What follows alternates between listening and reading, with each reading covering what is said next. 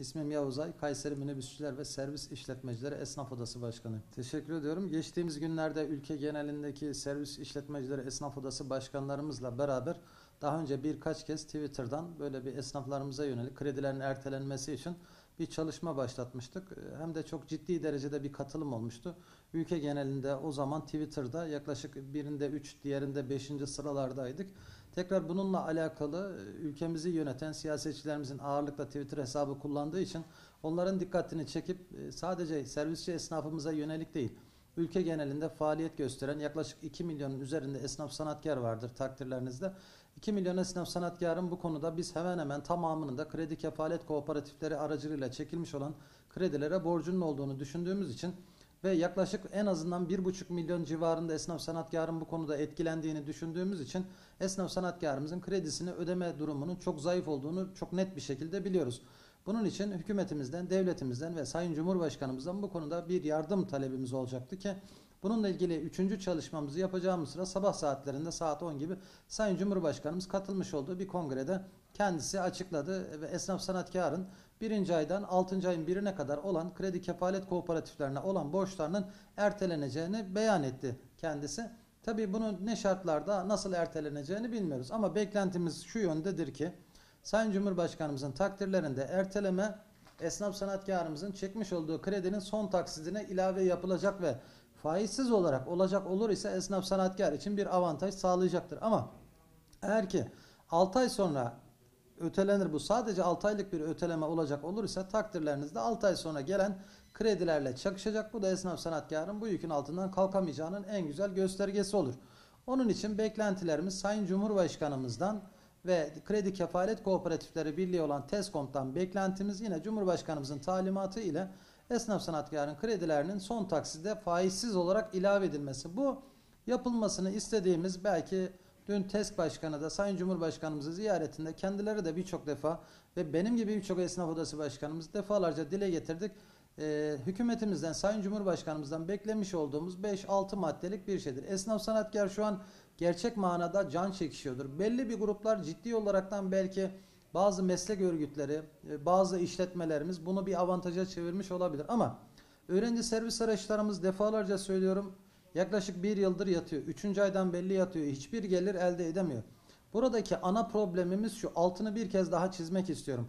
Biz e, pandemi dönemi içerisinde ne yapalım kardeşim? Sizler için okulları mı açalım deniliyor. Yok bizim böyle bir beklentimiz yok. Ama pandemi döneminde tamponuna kuş yuva yapmış servis aracından motorlu taşıt vergisi almak çok adil değildir. Bu servis aracından sigorta ve kasko istemek, aracın tüyden geçmesini beklemek çok adil değil. İki dönemdir benim esnaf sanatkarım yıllık olarak 15 milyar para harcıyor. Bunu ülkede hazineyi yöneten Maliye Bakanımıza da izah ettik. Bu memlekette kim bizimle bu konuda tartışmak istiyorsa ona da sorabiliriz. Çok açık ve net. Net bir şekilde bir kez daha ifade etmek istiyorum. İki dönemdir tüm hazırlıklarımızı yapıyoruz ve 5 kuruş bu esnaf sanatkar para kazanamıyor. Bizim gelir kaybımız yok. Biz para kazanamaz durumdayız. Düşünün evin önünüzde aracınız yatıyor 2 yıldır motorlu taşıt vergisi veriyorsunuz. Siz bu araca sigorta yapmakla mükellefsiniz ve bu aracı tüve geçirmek zorundasınız. Çünkü bindiğiniz zaman mutlak suretle cezalar yazılır. Bu ödemeler ikiye katlanır. Esnaf sanatkar bir taraftan bunu ödeme derdinde hiçbir gelir elde edemezken bir taraftan borçlarının derdinde olacak, diğer taraftan da evine helal lokma götürmenin derdinde olacak. Soruyorum.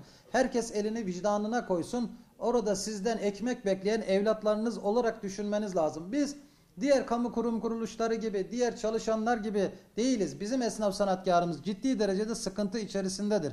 Onun için bizim en büyük beklentimiz Sayın Cumhurbaşkanımızdan özellikle bu noktalarda esnaf sanatkara yardımcı olmalıdır. Tabii ki yapılan çalışma kötü müdür? Hayır kesinlikle değildir.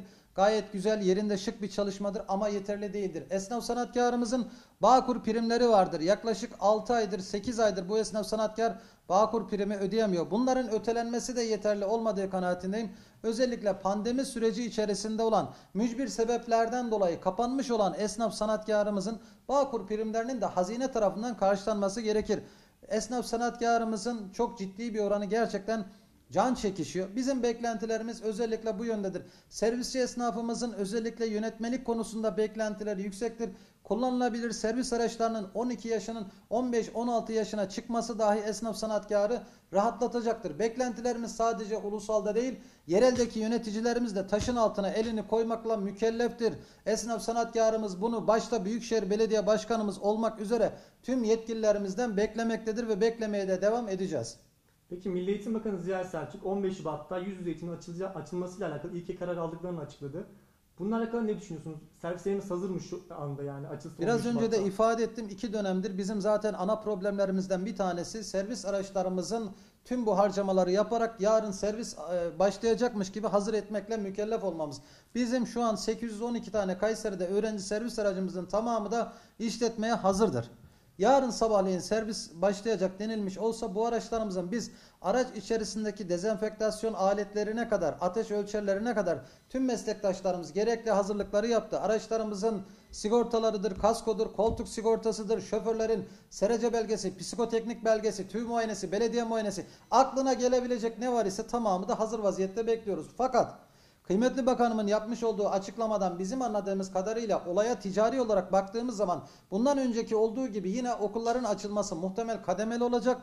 Tamamlanmadan da 6. ay itibariyle okullar tekrar kapanacağı için esnaf sanatkarımızın evini geçindirme noktasında ticari olarak ciddi bir artı kazandıracağını bu dönem için beklentimiz yok. Yüce Rabbimden dileğimiz inşallah yeni sezona her şey hayat normale biner de esnaf sanatkarımız hiç kimseye muhtaç olmadan kimseden bir yardım dilemeden kendi ekmeğinin derdinde ve peşinde olur.